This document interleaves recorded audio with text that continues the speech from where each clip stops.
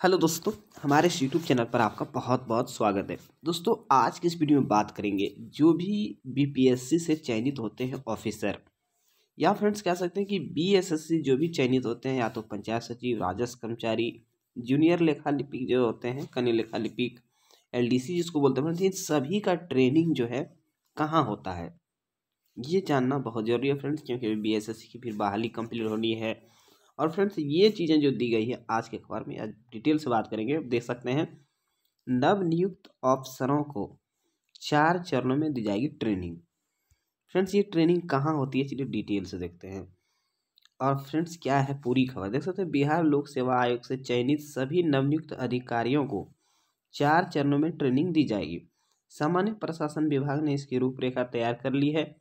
दो माह के प्रथम चरण में बिहार लोक प्रशासन एवं ग्रामीण विकास संस्थान, जो बिपाड आपको बता दें फ्रेंड्स, की जो है, बिहार में ट्रेनिंग की सबसे बड़ी संस्थान है बिपाड और इसी में जो है, सभी की ट्रेनिंग होती है।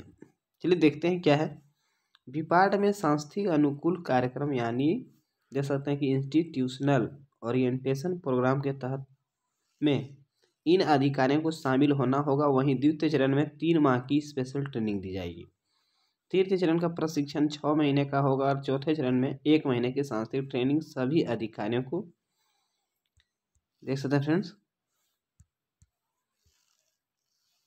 सभी अधिकारियों को जो है बीपाड में दी जाएगी। ट्रेनिंग की नई व्यवस्था 12 फरवरी से सड़सठवीं बीपीएससी से चयनित सभी अधिकारियों के इंडक्शन प्रोग्राम के साथ शुरू होगी।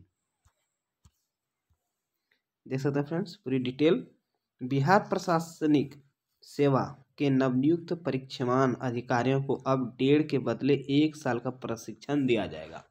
फ्रेंड्स ये देखिए, ये होते हैं उच्च लेवल के अधिकारी, पदाधिकारी तो इनको जो है एक साल तक का जो है ट्रेनिंग दिया जाता है। अगर बात करते हैं बी से जो चयनित होंगे, यानी बिहार एसएससी से जो भी चयनित होंगे तो उनको एक मंथ का ट्रेनिंग दिया जाता है।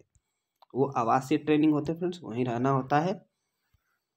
अब पूरी डिटेल इसमें दी गई है फ्रेंड्स, इसमें दिखाया गया है कि जो है यह होगी ट्रेनिंग मॉड्यूल प्रथम चरण में विपाट द्वारा प्रशिक्षणार्थियों के व्यक्तित्व विकास के साथ साथ राज्य सरकार के समान नियमों तथा यथा आचार नियमावली दे सकते हैं। बिहार सेवा संहिता सूचना का अधिकार, बिहार लोक सेवाओं का अधिकार, न्यायालय की प्रक्रिया, ये चीज़ें जो है ट्रेनिंग में बताई जाएगी, ये चीज़ें ट्रेनिंग दी जाएगी। देख सकते हैं लोक सेवा शिकायत निवारण, बिहार कार्यपालिका नियमावली बिहार पेंशन नियमावली बिहार वित्त नियमावली आदि के बारे में जानकारी दी जाएगी। वही द्वितीय चरण में जो है, पूरी डिटेल से दी गई फ्रेंड्स, कहाँ होती है तो गया में ट्रेनिंग होगा बिपाड में। मैंने बताया फ्रेंड्स कि जो है बिपाड सबसे बड़ी ट्रेनिंग संस्थान है बिहार की। तो फ्रेंड्स, इस वीडियो में इतना ही। वीडियो पसंद आता है एक लाइक कीजिएगा, जो भी चैनल पर नए होंगे, चैनल को सब्सक्राइब ज़रूर कर दीजिएगा।